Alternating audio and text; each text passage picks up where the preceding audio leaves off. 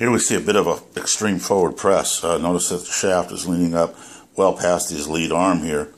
Um, that's okay, but what's happening too is he's also leaning kind of that to that side.